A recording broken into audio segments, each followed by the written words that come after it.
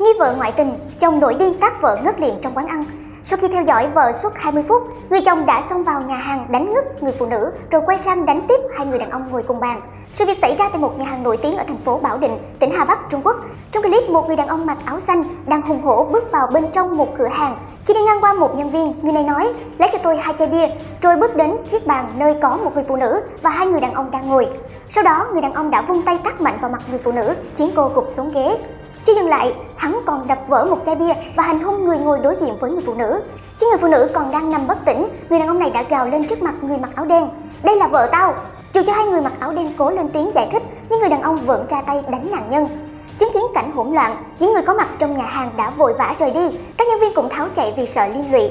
Khi cảnh sát tới hiện trường, người phụ nữ và hai người đàn ông đều bị thương. Được biết, người phụ nữ là vợ của kẻ hành hung, còn một trong hai người đàn ông bị đánh được cho là bồ của cô này.